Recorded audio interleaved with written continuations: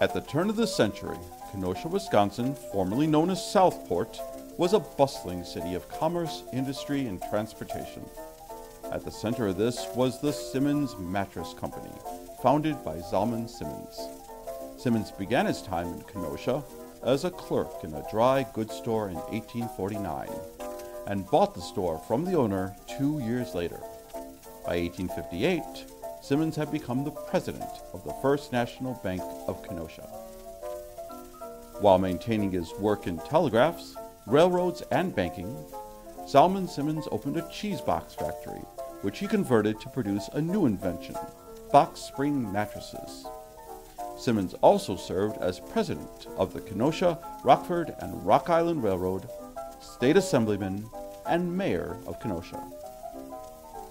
In 1890, Zalman Simmons' eldest son, Gilbert, died of pneumonia at age 38. Simmons gave serious thought on how to best commemorate his beloved son. Soon after, Simmons met architect Daniel H. Burnham at the Chicago World's Fair in 1893. Burnham was the fair's architectural director and one of the most famous architects of his day.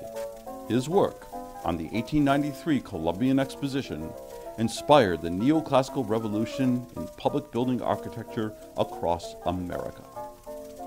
Enamored of the style, Zalman Simmons and Burnham talked about designing a library for Kenosha, quote, of sufficient size to hold over 30,000 volumes, materials to be used, stone, steel, and hardwood, made fireproof, unquote. In 1899, the city of Kenosha was offered the library. Zalman Simmons gave the funds to build the library and buy all the books and furnishings, with four requirements that the city of Kenosha would levy a tax to support the library. Any remaining funds would be used to purchase books.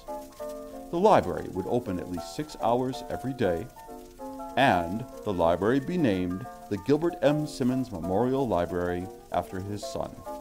The city agreed, and the work began in Central Park, later to be renamed Library Park. No expense was spared and all the finest craftsmen and materials were utilized.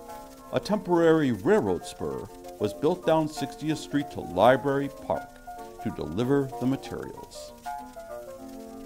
Gilbert M. Simmons Memorial Library is a fine example of neoclassical design meant to inspire lofty ideas.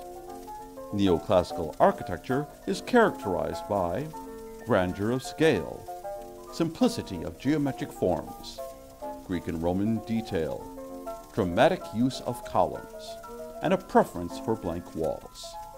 The perfect symmetry, ionic columns, and laurel wreaths in the Simmons Library sit firmly in the Grecian classic style. The exterior walls of the building are made of 18 inch thick limestone blocks, brought in from quarries in Bedford, Indiana.